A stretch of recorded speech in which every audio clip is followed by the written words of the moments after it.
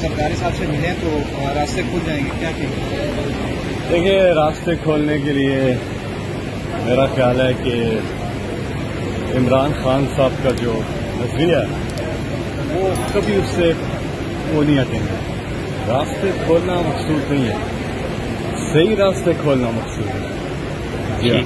सही रास्ते खोलने की तो है कोई बातचीत कुछ हम अदालतों में इमरान खान अपने केसेस जो हैं उनको फाइट कर रहे हैं। कानूनी तौर पर क्योंकि इमरान खान ने जो सारे केसेस के ऊपर खुद बताया हुआ है और उनके यूट्यूब चैनल पर अगर आप जाएँ, देखें, एक एक केस में जो जो उन्होंने बात की है, वो सही साबित हो रही है। ये बेबुनियाद सारे केसेस हैं। तो इंशाल्लाह जो कानूनी चीज़ें हैं, वो ठीक हो, इंसाफ हो तो रास्ते खुलेंगे।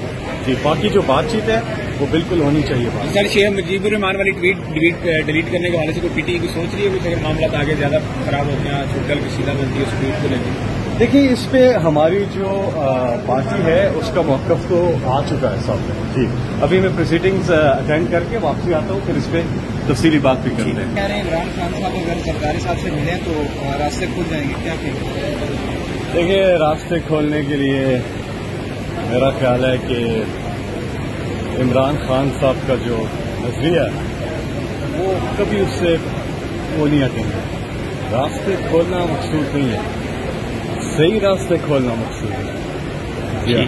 सही रास्ते खोलने की तो है कोई बातचीत कुछ हम अदालतों में इमरान खान अपने केसेस जो हैं उनको फाइट कर रहे हैं कानूनी तौर पर।